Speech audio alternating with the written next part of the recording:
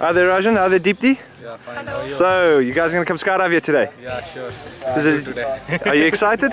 Yeah, very Definitely, we are very much excited. Ah, this is the first time you guys have done something like this. yeah, first time we are doing.